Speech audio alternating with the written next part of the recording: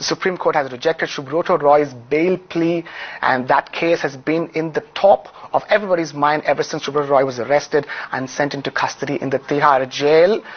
The Supreme Court has rejected Subrata Roy's bail plea. That's the latest news that's coming in. We have more details coming in on uh, Subrata Roy's uh, bail plea being rejected by the Supreme Court. In fact, the Sahara debenture case will now be heard on the 25th of March. We have Mrinalini Krishna who joins us on the, on the phone line from New Delhi with all the latest details. Mrinalini, fill us in. More setbacks for uh, Shuha, uh, Subrata Roy. Absolutely. There has been another big setback for Sahara Chief Subrata Roy with the Supreme Court rejecting his bail application. Uh, what we are being, uh, uh, what the Supreme Court did observe is that there is still no repayment proposal in place and which is why there is really no reason for them to go ahead and grant bail. In fact, they have observed the key is in Sahara's hands itself and they have said uh, if they get a proposal, they will look at release of uh, Roy as well as his other two uh, uh directors.